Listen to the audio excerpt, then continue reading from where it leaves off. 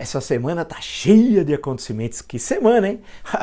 O Eduardo Bolsonaro foi ao, ao, à tribuna da Câmara dos Deputados, o Eduardo Surfistinha, aquele que ia ser embaixador, era uma palhaçada, a gente sabia que aquilo lá era, uma, era uma, um acerto que o Bolsonaro fez com aquele cidadão que está lá na Virgínia para colocar o Foster como embaixador do Brasil em Washington. E o, e, o, e, o, e o Dudu Surfistinha fez o papel do bode e da piada. Bem, aquele embaixador que foi sem nunca ter sido, foi à tribuna da Câmara dos Deputados e atacou a população brasileira, se referindo ao que está ocorrendo no Chile, em outros países aqui da América do Sul, mas em especial o Chile, que ele não entende nada, ele acha que é uma conspiração, tal, dentro dessa ideia de que eles deliram, mas eles são neofascistas, tem de lembrar que eles odeiam a democracia, eles usam a democracia para destruí-la. Esse Eduardo Bolsonaro foi à tribuna e ameaçou a população brasileira com repressão nas ruas caso haja manifestação.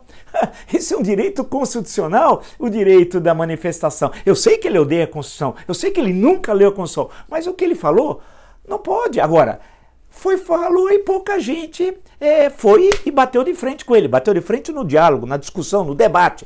Né? Lembrar que o neofascista, eles não entendem o que é bater de frente. Ele que é neofascista sabe do que eu estou falando. Bater de frente é no debate, mostrar que ele, ele está violando a Constituição. E pior, o Dudu Surfistinha, que é aquele que falsificou dizendo que morava em São Paulo e não mora em São Paulo e ficou elas por elas, né? O Dudu Surfistinha depois, no fim do seu discurso, é patético, ele não mal sabe falar, é um pobre coitado. Ele disse o seguinte: ameaçou o Brasil com um golpe de Estado. É, nós brasileiros que conseguimos com tanto esforço construir a democracia, do qual ele tem direito de falar, mas ele quer destruí-la junto com o pai e com os neofascistas que o apoiam, ameaçou o Brasil com um golpe de Estado.